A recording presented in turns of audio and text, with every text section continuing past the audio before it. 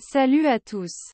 J'espère que vous allez bien. Aujourd'hui nous vous apportons une nouvelle série d'un amour secret, résumé de l'épisode 66. Tout avant de commencer, je vous demande d'aimer la vidéo. N'oubliez surtout pas de vous activer la cloche de notification pour ne pas rater le prochain épisode. Deux co-détenus ont été assassinés à la prison où Virginia purge sa peine. Jimena se rend à la prison avec son fils Carlos. Elle finit par avouer qu'elle a reçu un appel qui lui disait que quelqu'un allait tuer Virginia. Jimena se fait arrêter par la gardienne.